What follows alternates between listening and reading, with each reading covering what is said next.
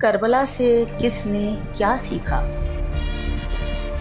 किसी कौम ने भी करबला से क्या दर्स लिया, क्या सबक सीखा और किस तरह से करबला पे नज़र डाली? हर कौम ने करबला से अलग अलग दर्स और सबक सीखा।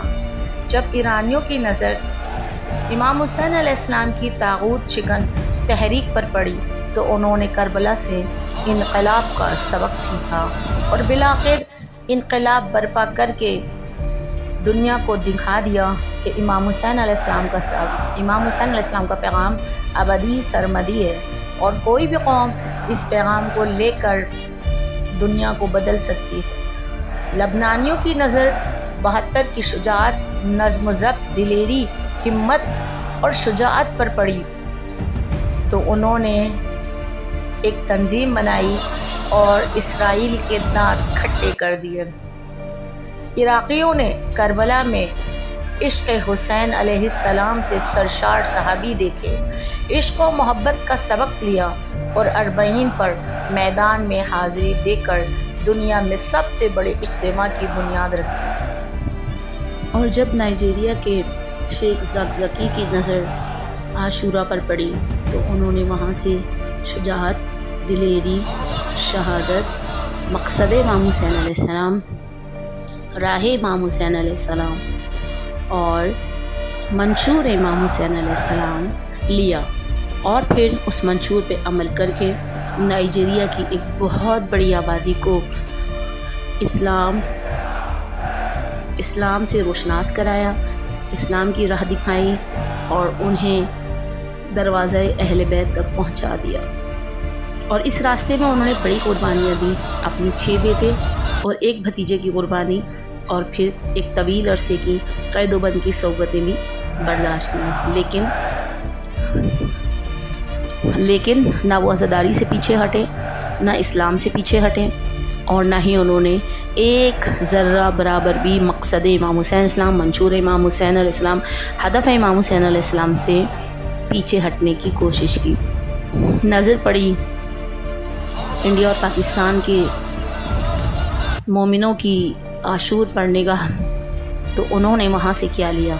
इंडिया और पाकिस्तान के मुसलमानों ने आशूर से, करबला से जो चीज़ ली, वो थी आज़ादारी जुलझना ताबूत, अलम, रोना, पुरसदारी, ताज़ियत, मोहब्बत, अकीदत। लेकिन वो चीज़ जिसे हम मकसद, हदफ मंशूर कहते हैं। वहाँ तक अभी हम इंडिया और पाकिस्तान के मुसलमानों की पहुँच नहीं हो पाई है। अभी हम उस हदफ तक नहीं पहुँच पाए कि जिस हदफ तक इमाम हुसैन इस्लाम हमें ले जाना चाहते थे। करबला की बहुत सारी राहें हैं।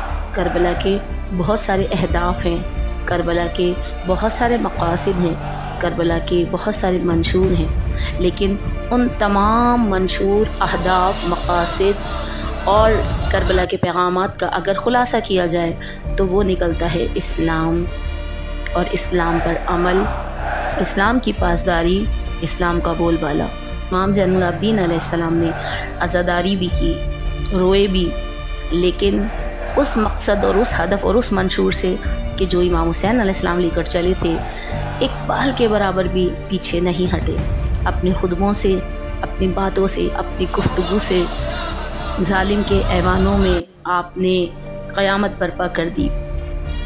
दुश्मन को घुटने टेकने पर मजबूर कर दिया।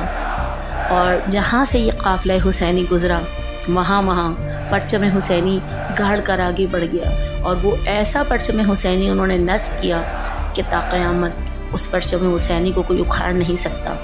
इस नमाज़ की बका, इस दीन की बका और इस शरीयत की बका के लिए हुसैन सलाम ने मदीना और मक्का छोड़ा और करबला को आबाद किया।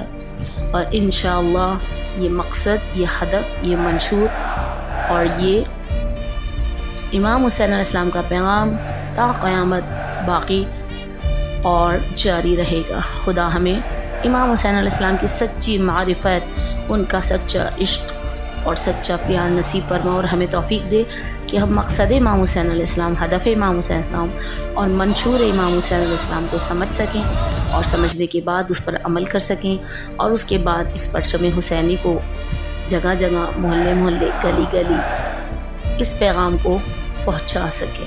अल्लाह सल महमद वाली महमद वजल फ़रजम